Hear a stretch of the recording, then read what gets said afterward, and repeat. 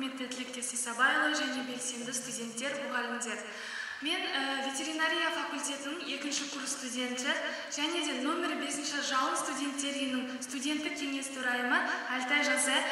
Ә, негізінен қазіргі таңда өзім тұрып жатқан студенттер үйінің жалпы жағдайымен сізді таныстырып өтсем деймін. Құрметті тілектес исабайұлы өзіңіздің әкелік қамқорлығыңызды көрсетіп жатақхана атауын студенттер үйі деп өзгерткеніңізді дұрыс деп санаймын.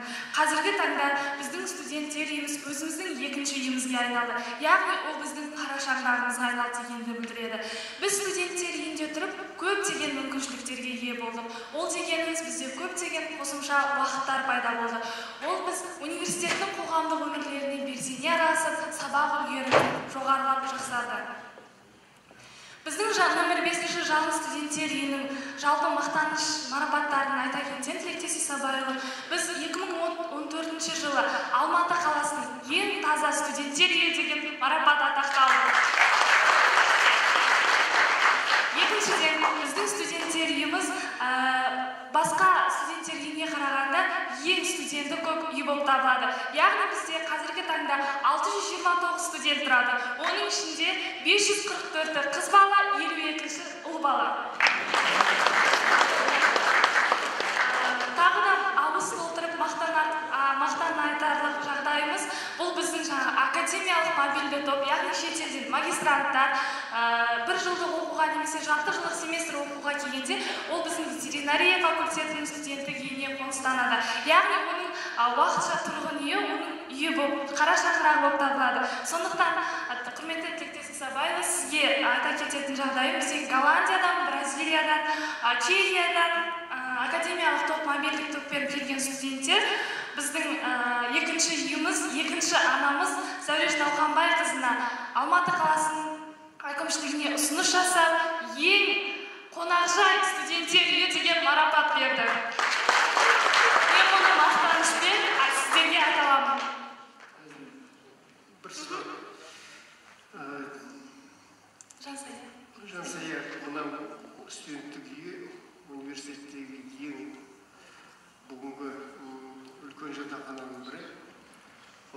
қандай қиыншылықтар бар осы біз айтуымыз мүмкін мына студенттік қалашықтың басшысы отыр вот какие трудности вот именно в общежитии я можно всегда ура говорить бәрі жақсы бәрі жақсы гүлмира күмісқалиевна мында отыр жансая саған рахмет оған да мына сенің жүрегің керек табиғатың керек сол әр балаға сен өзің сөзің жеткізе білуің керек. Әр кірген бөлмеге сен сол жатақхананы басқару емес сол жатақханаға қызмет жасауың керек. Әр баланы түсіне білуің керек. Әр баланың жүрегімен сезіне білуің керек. Сол сондай жұмысты атқарудың өзі ол оңай емес. Ал енді қиыншылықсыз болмайды мен енді әкімшілік жақтан. Мен әр уақытта мына мен жастарыма да айтамын. Бүгін ректордың алдында отырсыздар. Барлығымыз жақсы жақсы бәрін рапортовать етіп жатырмыз ал бірақ та сондай бір өздерінің бір проблемаларды қойып мынау мәселе неге шешілмейді? Мынау мәселе неге шешілмейді? Сондай проблемалар бар шығар. Қазіргі таңда біздің жатақхана өз сіздің арқаңызда және елбасымыздың арқамызда өте күрделі жөндеуден өтті. Ол дегенің біз қазіргі таңда көптеген жаңағы жақсы мүмкіндіктерге ие болдық. Айта кететін болсам мен сізге жаңағы ұсыныс ретінде айтсам болады ма? Бізге жатақханада өзін өзі басқару жаңағы өзін өзі басқару деңгейі орташа яғни жақсы деңгейде дамыған деп білемін. Ал енді сізге айтар ұсынысым біз жаңағы кітапханада еден жуушының орнына өзіміз студенттер жұмыс істесек яғни өзіміз жаңағы жалақы алатындай. Қазіргі таңда біздің кітапханада өзіміздің студенттер жұмыс істейді. Оның жаңағы бос уақыт сабақтан тыс уақытынан яғни қаражат табуға деген мүмкіншілігі. Соны айтайын мен дедім мына ұсынысты москвада оқыдым мен. Сол жатақханада барлығын студенттер өздері басқарған мынау оларда пропускной режим біздің қазіргі мына служба безопасности сияқты ал қалған бәрі тазалықта студенттердің қолында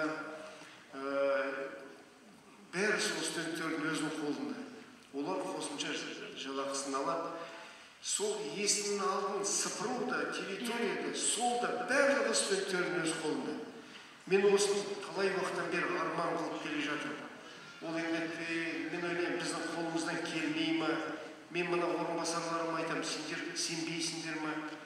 Жоқ әлде біздің студенттердің қолынан келмей ма? Осы мәселені әділхан әбіш жазып алыңыз. Жанар әбжанов жазып алыңыздар. Сол ол енді мына жансая өте дұрыс тағы да біраз мәселелер бар. Мен айттым неге әр жатақханада өздерің буфет ашып соған студенттер өздерің ие болмайсыңдар? Өздерің болады ғой біздің жатақханада өзіміз дәмді ас мәзірі деген үйірме бар. Онда қыздарға жаңағы белгілі бір кестесі бар. Қыздарға ас әзірін дайындау туралы жаңағы дәрістер өтеді. Сондықтан біздің студенттеріміз өзіміздің асханамыз бар. Жоқ соны мына буфет сол студентті ар жағында тағы да бір екі бөлмені босатып сол жерде студенттер буфет сол жерде қазір барлығы бар ғой. Соны ты сүт алсаңдар да кефир болса да басқа да болса тамақтарды алып ертеңмен сол студенттер тамақтанатын әсіресе ертеңмен балаларымыз бір шыны шай или бір стақан айран ішіп сол іргекте нанымызды майымызды жесе оның барлығы бәрі деннің саулығына байланысты асқазанға байланысты соның барлығын ойланатын нәрсе жанар жаңа сол қараңыздар запишите на этот вопрос. Балаларға беруіміз керек, сенім болу керек, сенім болу керек. Ал енді мен қанша жылдан бері айтып келе жатырмын. Біздің жатақханада, жансая, электрондық жатақхана деп. электрондық кітапхана Электрондық кітапхана, электрондық жатақхана.